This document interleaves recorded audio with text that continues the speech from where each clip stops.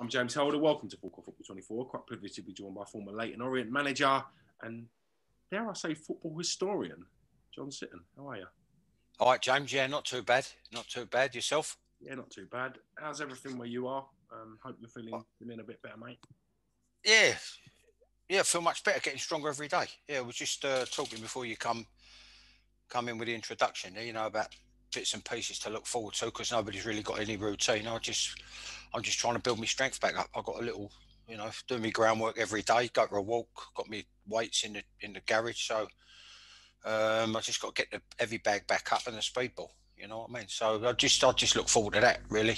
Just like half hour, twenty minutes, half hour, forty minutes, depending on how I feel.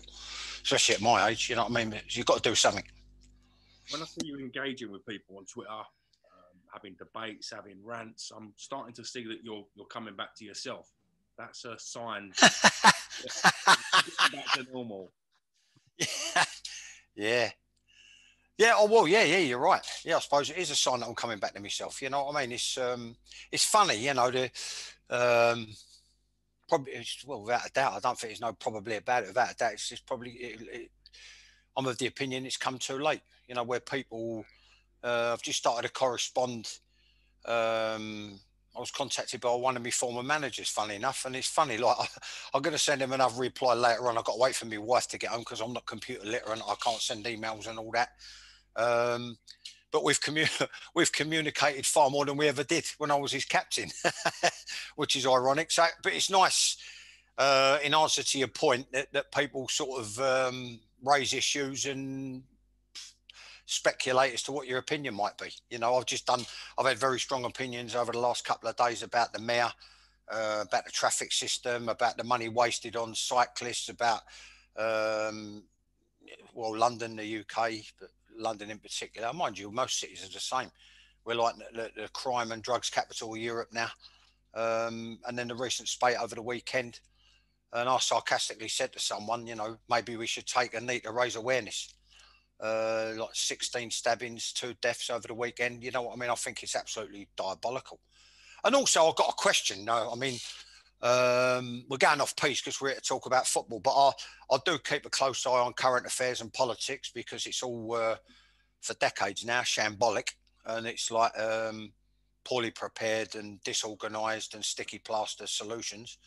Uh, because it's like I remarked before, you've got too many people who ain't been at the coalface. You know, they go from a privileged household to a privileged uh, fee-paying school to a privileged university to an internship, and then before you know it, they're uh, making policy in Whitehall. You know what I mean? I think it's despicable, disgusting, um, and and I think it's it's absolutely nothing short of uh, diabolical with regards to the goings on and the waste of life. But I questioned. Um, I was I was you know uh, procrastinating over the question um, how much bile, vitriol, anger, and hatred do does an individual really have to have to be able to um, chase someone down like a pack animal and stab them? You know what I mean? So that you know, it's quite obvious that uh, these people need help. To me, but patently obvious. But I've been listening to the same bullshit since the mid '80s. You know what I mean? And then, if the truth be told, you know, um, I've had thousands and thousands of magnificent reviews on uh, on my book and so much positive feedback. And uh, it's just uh, it's funny how you remember. It's like defeats in football, you know, like you you you skip past the victories and and remember and uh, the defeats and you and you, you languish on the defeats and you you harbour on about how you know how to improve things. Right, uh, one happened to be a West Ham punter. I don't know whether it's because I played with Chelsea or Millwall. He said that um, uh, which I've never been, and I made a I made a, a statement, many statements, many times. I just I basically state the facts, but he, he accused me of uh, trying to play play the victim. Do you know what I mean? Um, so the point being, we can all make excuses if we want to to be uh, antisocial and try and be public enemy number one.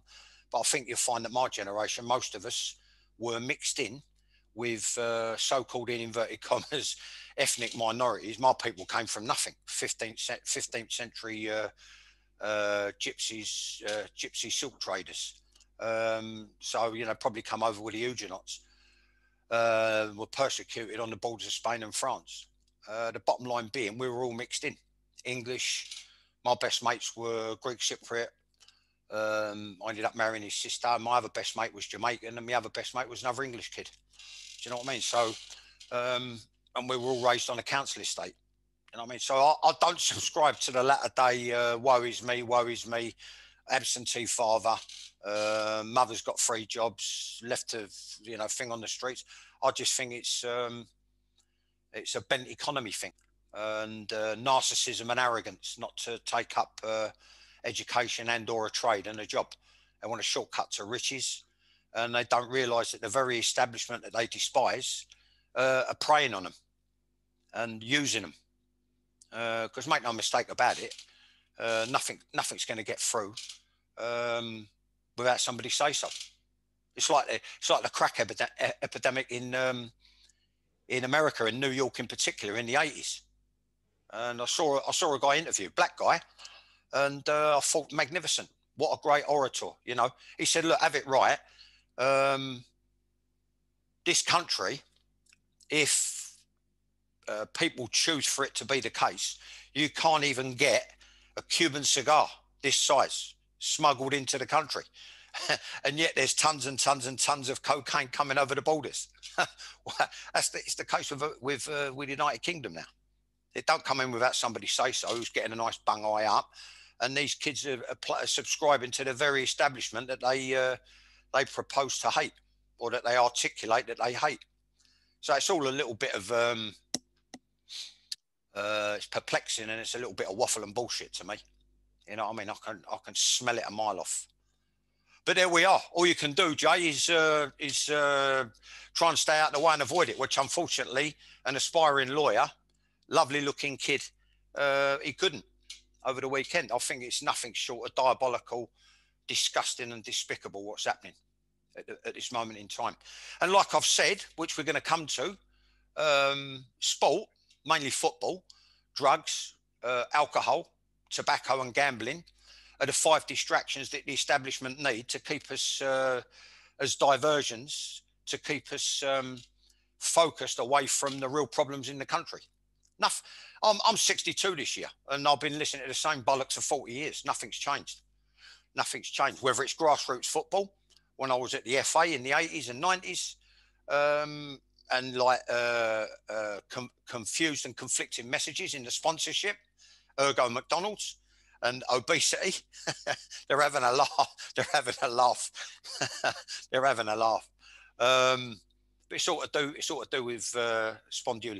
You know what I mean? Whether it's that or whether it's um, fighting poverty, whether it's apprenticeships, whether it's uh, uh, giving kids the right start, whether it's education, whether it's to try and uh, steer them away from gangs and steer away from crime. I've been listening to the same messages for 40 years. It's like football punditry on the TV, James right? I can sit here, you can sit here, we can give a list like they do, as long as you're armed uh, at the faults. But this is where uh, my podcast differs. The Football Uncensored podcast, we did another one last night. Um, we don't, uh, we'll mention the problem, but what we try and do is concentrate on the solution. Everybody can list the problems, but whether it's punditry on the TV or radio, whether it's uh, uh, politics, whether it's MPs, whether it's opportunist careerist MPs, which they're, they're in abundance, and fence jumpers like I've been listening to for decades, like George Galloway, right? Um, you can list the problems and have problems uh, coming out your ass, but there's very, very few people who offer the solutions. So that's where I like to think I'm a bit different. But I've never been approached and I've never been asked, and I wouldn't know where to begin with regards to um, uh, putting a marker down and um, you know, maybe uh, you know making a making a different career for myself. Um, at the end of the day, now I think it's got to the stage where um, it's like sort of a, a, king canute thing. You know what I mean? You're sitting there, they would be sitting there trying to stem the tide, um, and it's just not going to happen. Yeah, they're going to just trying to turn the tide back. It's just not going to happen. I remember having a row with George Galloway on um, he used to do a show on Talk Sport 10 p.m. to 1 a.m. on a Friday and Saturday night. And because obviously I worked as a black cab driver Friday and Saturday night, I used to listen to it quite a few times. I used to ring in. And I remember having a discussion with him about um, uh, crime, um, immigration, and infrastructure. And I've been proved right. I was right then and I'm right now. uh, what he'd done. He banned me for I think it was three to six months. He ended up letting me back on air anyway, just before he uh, just before he, he, he had to go because he was running for something. He was running for a seat, so uh, the show couldn't be politicised. Um, and lo and behold, what happens is uh, he, he's, uh, which is all part of it. He becomes a couple of years back pro Brexit. You know what I mean? This is what I mean by opportunist careerist fence jumpers. It's uh, harsh but true. It's been quite an exciting weekend on the football front. Just gone. Um, Manchester City stamping some dominance on the league, beating the current champions 4 1. That takes mm. them five points clear of the game in hand. What Man United? Yeah, no, yeah, you're right. It was very exciting, fantastic weekend football. Um, very enterprising, very attacking. Uh, I thought Man City were uh, two, three yards too quick and a class above. And uh, what it is, so I had this discussion last night, James, and I, have never ever understood it. And it might sound a little bit narcissistic and self-indulgent, right? But I had this situation at Gillingham with um, not only a pygmy, but also turned out to be an intellectual pygmy. And um, unfortunately, it was one of them who, he was one of them, Keith Peacock. Let, let me draw a film analogy. He's one of them who, at the time, he was um, he, he, he strutted around and conducted himself and tried to be as ruthless and thought he was Vito Corleone. And uh, if the truth be told, he ended up looking like Fredo Corleone. Um, the bottom line being, um, in answer to the point with regards to Liverpool, when, when I was at Gillingham, and this is the mistake that Klopp's made, is he's got a problem area. So we know when everybody's fit, he's got a good goalkeeper, he's got a very good back four, a very good midfield, and a very good forward line, right? Um, although someone's intimated that the forward line has now been together for four years and they might be going a bit stout, right? But it's like the cliche, you know, um, form is temporary, class is permanent. Now, looking at the back line, what I don't understand, James, is this, right? I don't understand why it is, is um, and I was a victim of this, as I say. The Peacock would say, Can you do a job for me at right back? Well, I went there, um, educated for six years at one of the best youth academies in the country, if not the world, if not Europe and the world, Chelsea Football Club, by coaches who who were firmly of the belief that we should follow along the lines of the Ajax um, mantras and doctrines when they dominated Europe and won the uh, European Cup three years on the spin, right? So I was very, very well educated in terms of football IQ and football intelligence, right? So Peacock was saying to me, "Can you do a job for me at right back? Can you do a job for me at left back? I know you're a centre half." Uh, but can you do a job for me in midfield? I've got injuries and suspensions, right? Be- because obviously I was being penalised for my all-round ability and football IQ. And uh, at the time, um, being a cross between maybe um, you know a light heavyweight boxer and a middle distance runner, I could get around the pitch and and uh, put my foot in.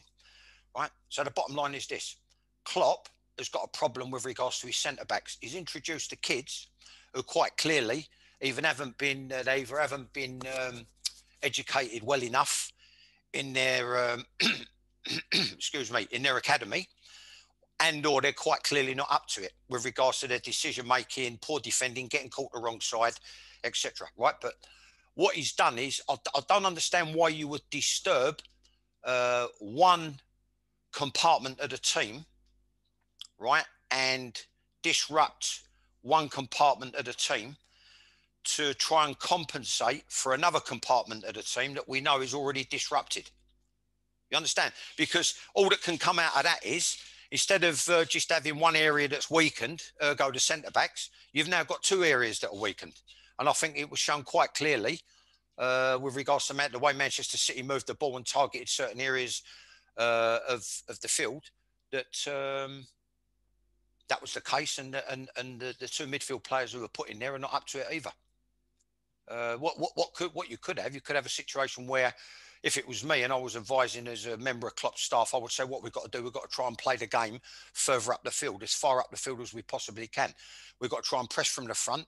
And what we do, we leave our front three, uh, Mane, Firmino, Salah. But what we've got to do, uh, we, we leave them in situ, right? But what we've got to try and do is get them to press from the front. And then knowing that we've got a good compartment and get them pressing in support to try and alleviate the pressure on a weak and back four. But what he's done is he's just gone. Well, what we do, we take two very two cracking players out of there to try and compensate for the loss of the two players there. Well, in the end, instead of one area that's weak, you've now got two areas that, that are weak. While, while I think of it, I've got to come to this. I think the alarm bell should be ringing for Gareth Southgate with uh, regards to Trent Alexander-Arnold. I thought his defending was embarrassing. It was really like despicable, laughable. It was under 14 right back, uh, going in too fast. Uh, well, like even when you're coaching in a grid, which like that shows me he either weren't taught or he forgot. You close down quickly, then what you do, you apply the brakes and then you slow your approach. You don't go rushing into someone like Raheem Sterling, who could uh, Raheem Sterling, who could just skip by you and go either side.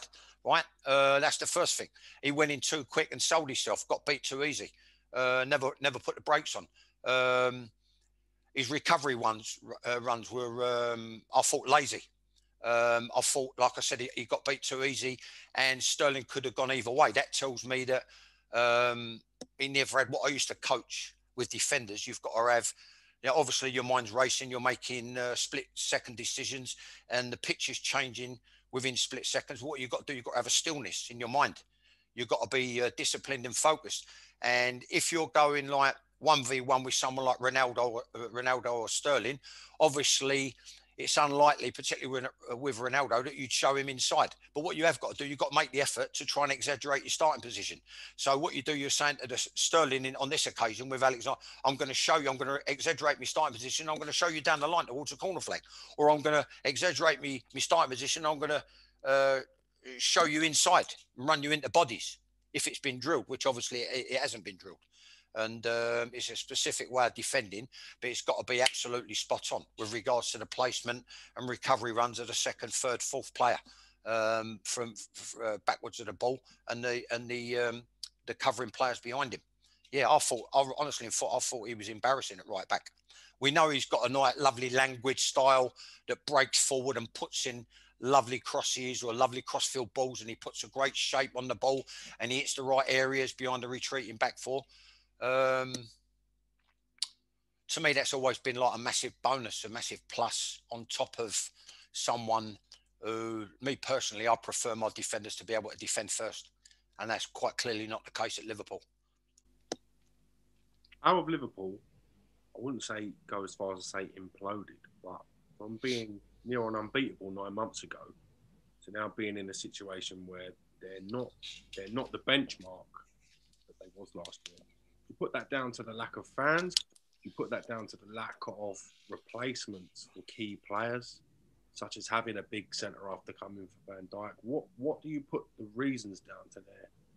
Uh, the second one, and I think it's. Uh, I think I'll be honest with you, James. I think it's the second one. I mean, if you're a member of Klopp staff and you're on his shoulder and you're supporting him, um, you do it with uh, you know law, loyalty and and and uh, servitude. You know what I mean?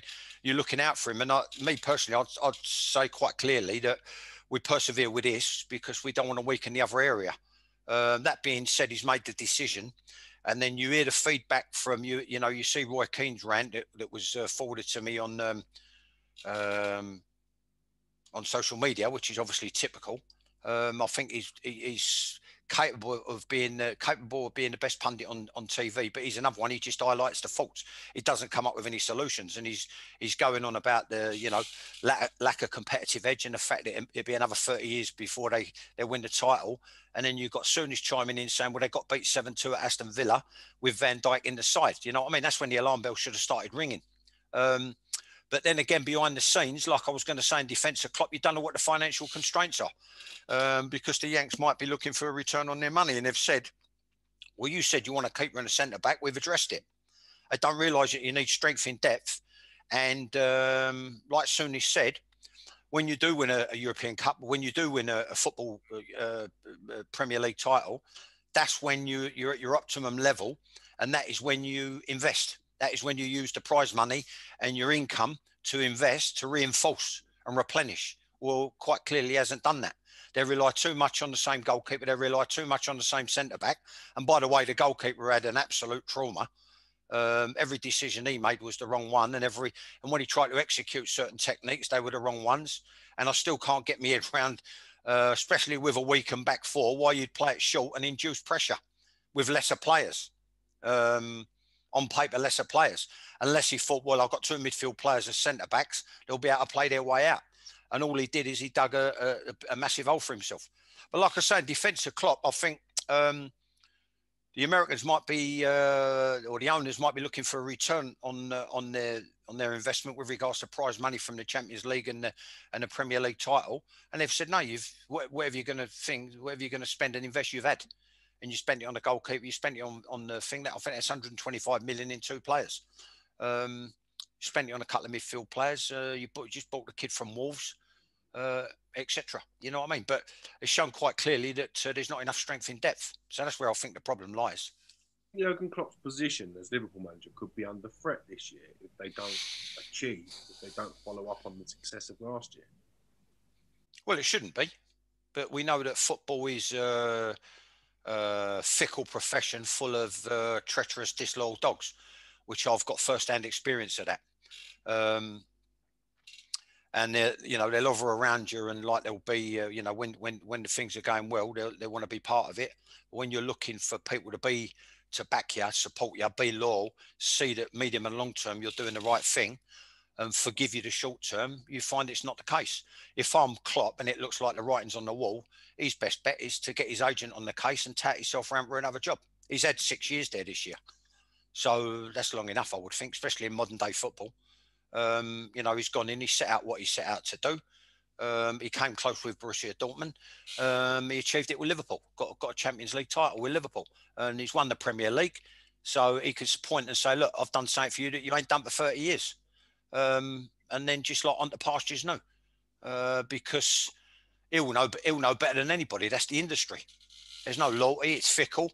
Um, and when and when you what I've found in my personal experience, when you actually need support the most, you don't get any.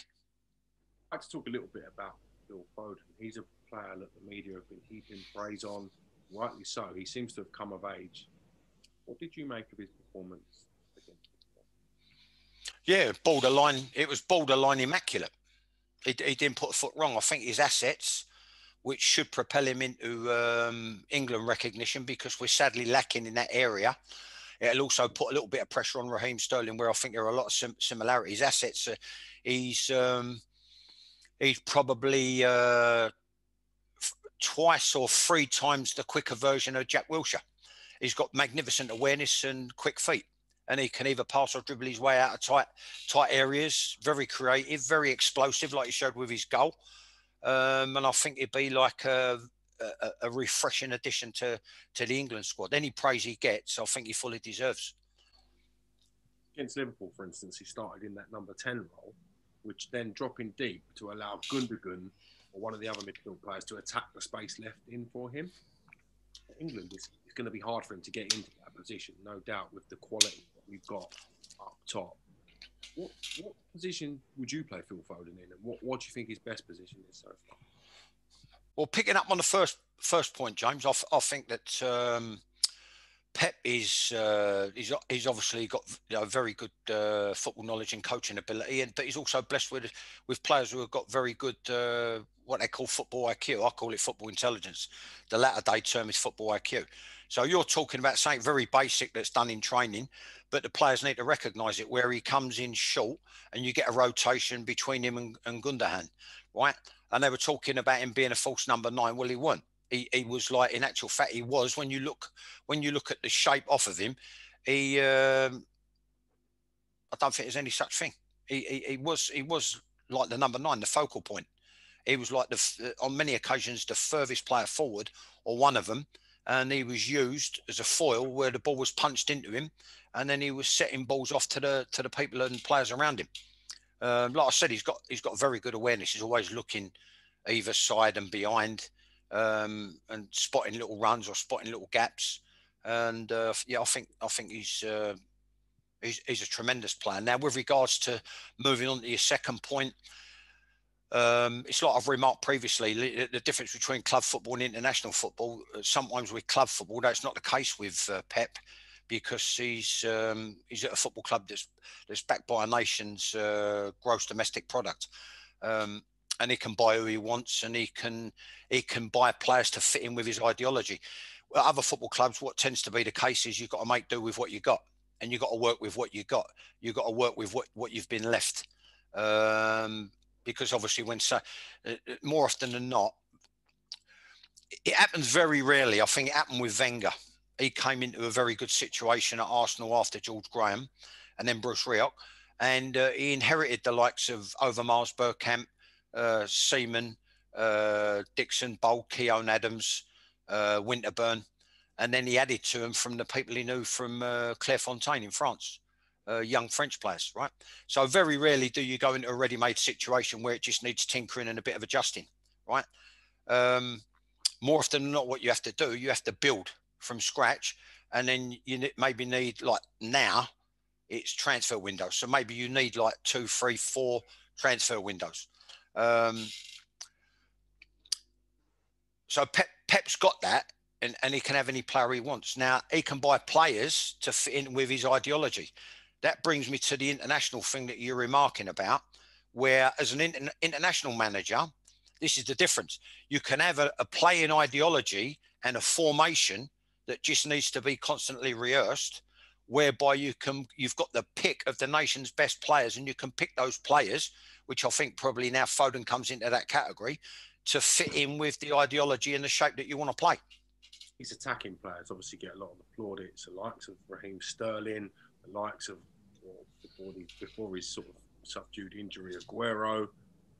How important has the defence of Man City been? So the likes of Laporte, Ruben Dias, yeah. my, my opinion, one of the most improved players this season in John Stones. How important has their form been to Man City's title challenge? Well, very quickly, right? this this uh, someone re- someone remarked on our podcast um, that uh, at Liverpool they've had the same front three for four years, right? And they may be going a bit stout, right?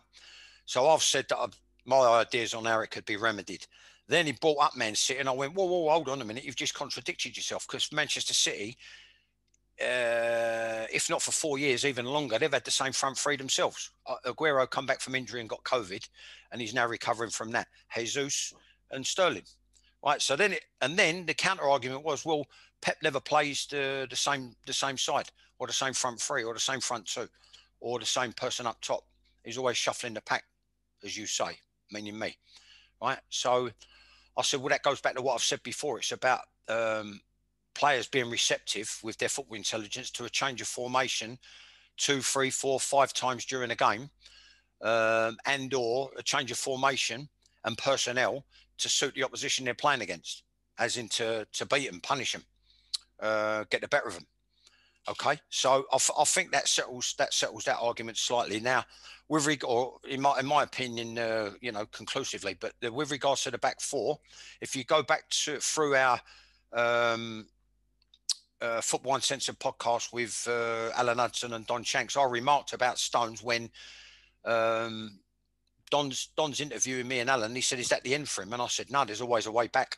And the penny's got to drop that he's at one of the richest, biggest football clubs in the world now, and the only way's down. And what he's got to do is he's got to reignite his own renaissance by saying to a coach um, or saying to a youth team player, "Can you just come and do 20 minutes with me every afternoon?" And I think it shows quite clearly that uh, that's more or less what he's done. Right? This is not James, what you've got to understand and what people were listening have got to understand, this is not a C.S. Lewis. You know, this is not like, uh, you know, a secret key and the Lion, the Witch, and the Wardrobe. You know what I mean?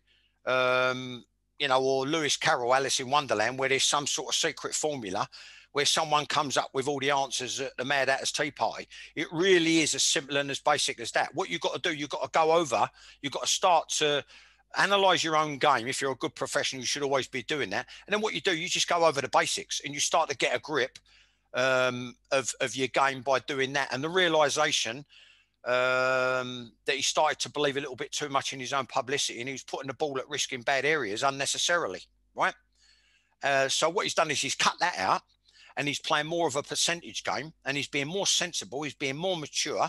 And I think he's got a grip of um, his marking and retreating. I think he's got a grip of the dangerous areas, what I call the, the hot spot. Um, people come out with twatty terminology like the you know corridor of uncertainty. I would never use that if I was coaching because what you're doing, as well as sowing a seed for retreating back fours and defenders, it the space between them and the goalkeeper, corridor of uncertainty could, could also mean a corridor of uncertainty for your own forwards, and and and it detracts from um, even if it's one percent. Uh, from their mentality of wanting to come crashing in like a bulldozer with a Ferrari engine uh, to get the other side of the retreating back four and get a surface to the ball and get it in the back of the net. Well, all those areas he's identified and he's getting good surfaces to the ball. He's making do with one touch clearances, uh, whether it's with feet or head. And he's looking a far more refined, polished, dependable centre back. And for my money in the Euros, uh, barring injury, touch wood, please God, um, Emma Maguire without a shadow of a doubt, should be the top two that start.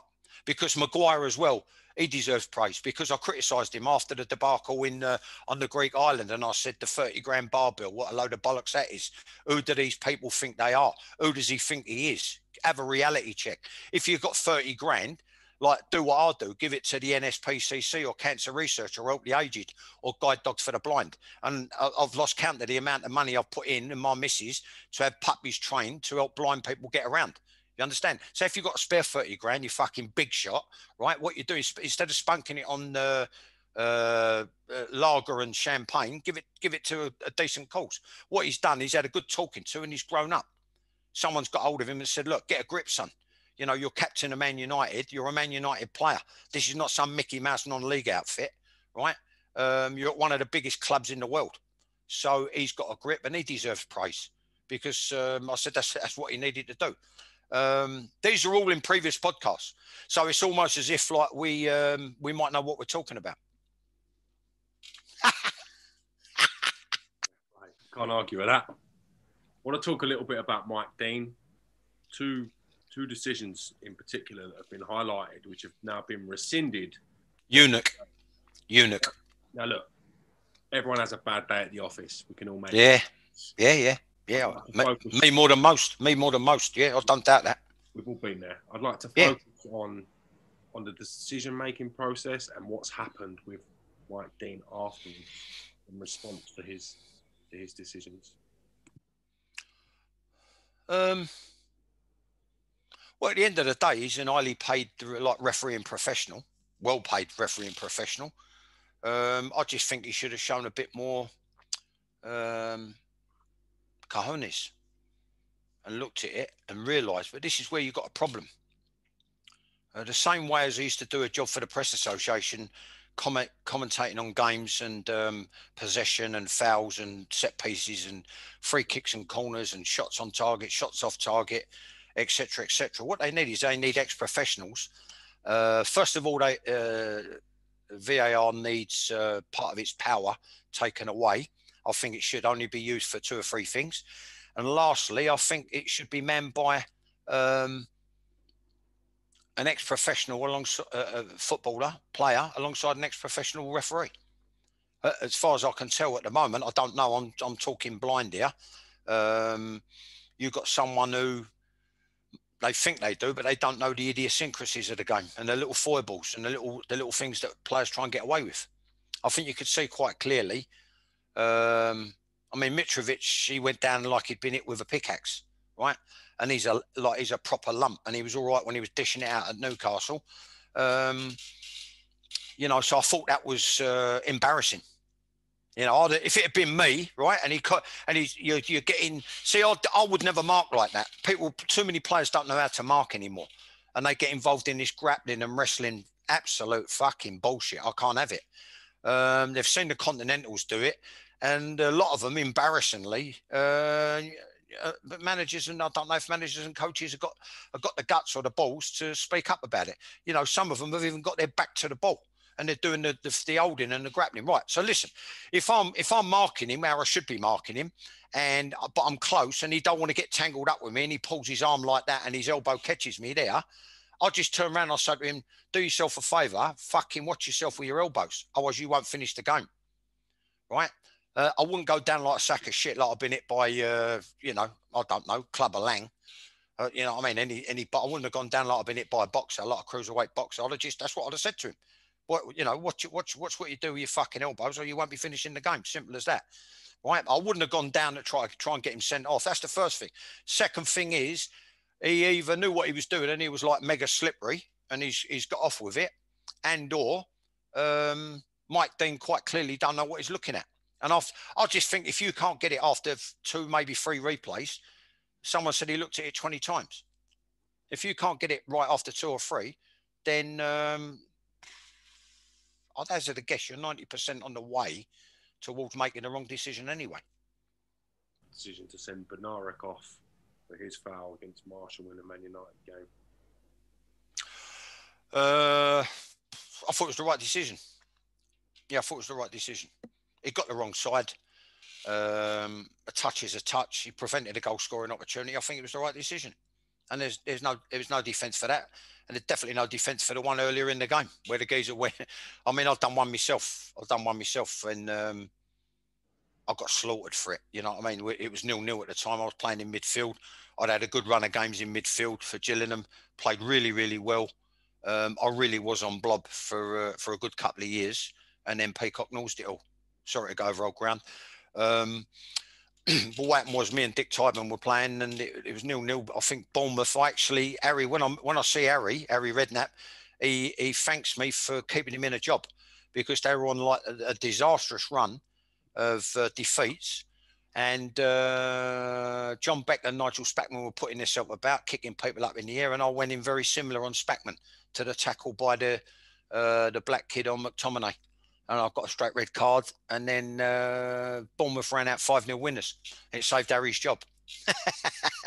so, so uh, I think they were both. I think they were both uh, deserved red cards, and it don't matter with all the. Well, I hardly touched him. I didn't touch him. They know what they're doing, and at the end of the day, um, a they allowed themselves to end up too deep, and b it was a it was a goal scoring opportunity. So by the letter of the law, he, like guilty is charged. Whether Mike Dean got the decision right or wrong, it's up for debate. With with the VAR VAR option as well, everybody's going to have an opinion on it, no doubt. Mm.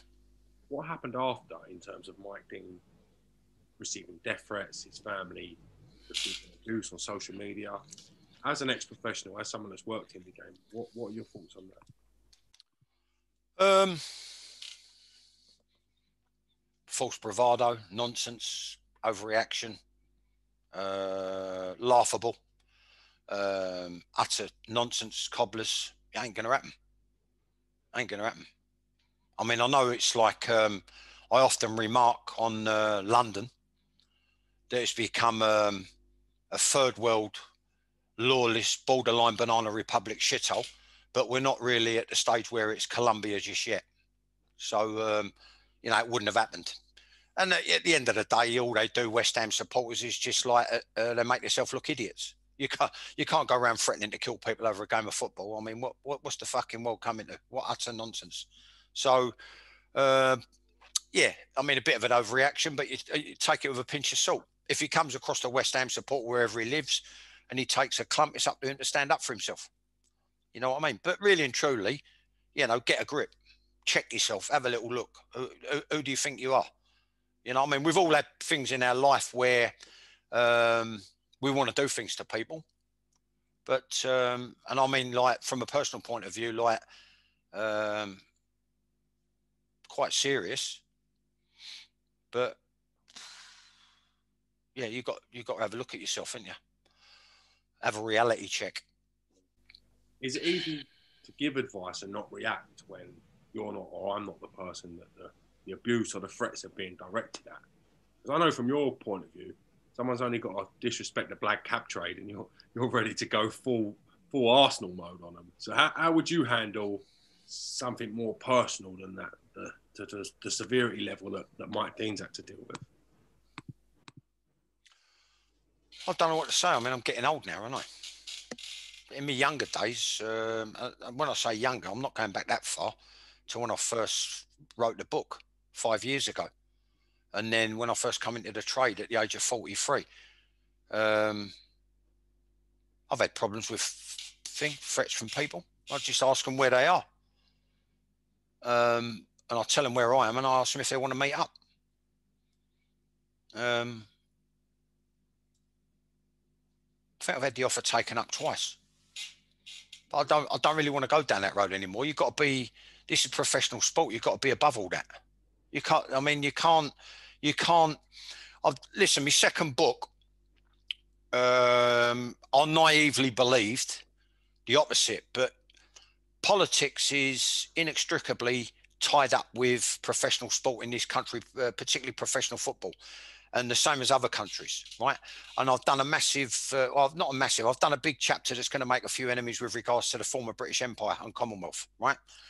Um, and now I think we've been browbeaten and I think we've been let down by successive governments, right? But even though it is tied up with that, you can't have a situation where at the other end, um, what's going on on the streets is allowed to infiltrate professional sport, anything. Uh, anything to do with it, racism, but it's all one big fat contradiction when they talk about racism and violence and uh, all this. You can't allow it to infiltrate. But unfortunately, that's the case. And then what you got, you got this ongoing, um, intricately woven spider's web that uh, distracts people's in, uh, uh focus and uh, messes with their intelligence or messes with their opinion, and they're unable to divide it up forensically, like I like to think I can. And I'll just say, oh, you want to debate on that? We'll have a debate on that. You want to debate on this? We'll have a debate on this. You want to talk about that? We'll talk about that. You'll find at the end of it, conclusively, that um, more often than not, I'm right. And it's all one big fat contradiction. You can't have you can't have a situation where uh, you've got this lowest common denominator uh, common denominator mentality uh, where it's where it's going to be allowed to uh, infiltrate professional sport.